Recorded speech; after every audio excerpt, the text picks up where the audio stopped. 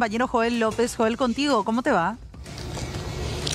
Fer, ¿qué tal? Saludo a nuestros televidentes. Y justamente nos encontramos eh, frente al Centro de Reinserción Social de Mingaguazú, la penitenciaría de Mingaguazú.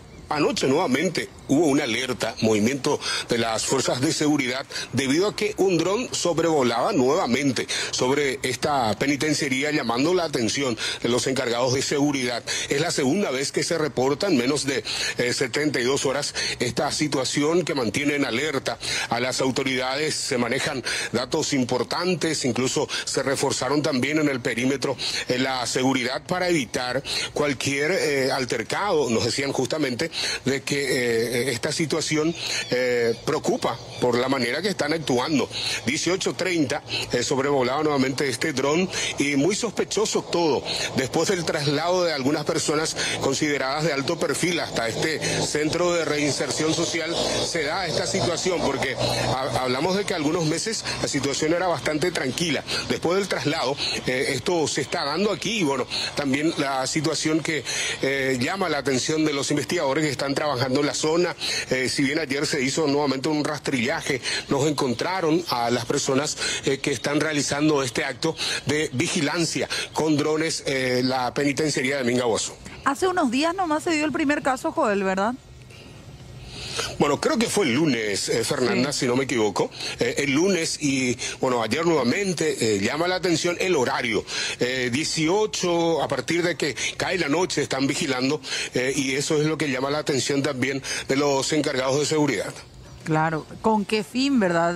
Muchos ya decían cuando ocurrió el primer caso que podían hasta haber estado intentando ingresar cosas a través del, de, la, del sobrevuelo de este tipo de drones. Es así, totalmente, pero aquí hay eh, datos que eh, no se pueden ir eh, detallando, pero manejan los investigadores y es importante también manejar con mucho sigilo, porque hay una alta preocupación de los organismos de seguridad que se desplegaron aquí, están buscando el centro donde están operando estas personas que no es en inmediaciones o muy cerca del centro penitenciario, sino un poco más distantes. Se habla de una tecnología ya bastante avanzada que pueden sobrevolar desde una distancia importante. A ver, yo, yo no conozco mucho de este tipo de tecnologías, pero acá sí los compañeros me ayudan. ¿A cuánto podés estar de distancia de, para manipular un dron? Eh, no, depende. Si son esos FPV, sí puede ser eh, una distancia, una distancia considerable. Si mm. es algún eh, dron de una gama media baja, ah.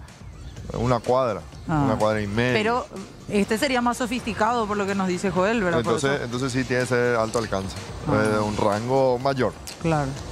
Ahora, eh, según los especialistas, sí, de, de, eh, alta tecnología, de rango un poco más importante, que se puede manipular desde una distancia considerable. ¿Y las inmediaciones cómo son? Ahí estamos compartiendo, Joel, algunos de los rastrillajes que se hacían a la noche para poder ubicar desde donde, se manipulaba. Es una zona bastante despoblada, Fer. Eh, van a ver ustedes, con el movimiento de la cámara del compañero tenemos muy poca señal, pero sí, vamos a tratar de mostrar el perímetro. es así.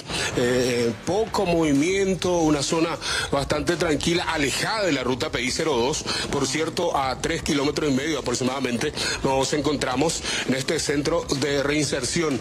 Eh, hablamos de que este asfalto, este pavimento que ven ustedes termina frente a este eh, reclusorio y ya posteriormente tener una ruta bastante complicada también para circular. No es de muy rápido tránsito. esta situación también se puede observar desde acá. Eh, estamos atentos. Nadie salió a hablar todavía, a dar algún tipo de declaración, Joel, ¿verdad?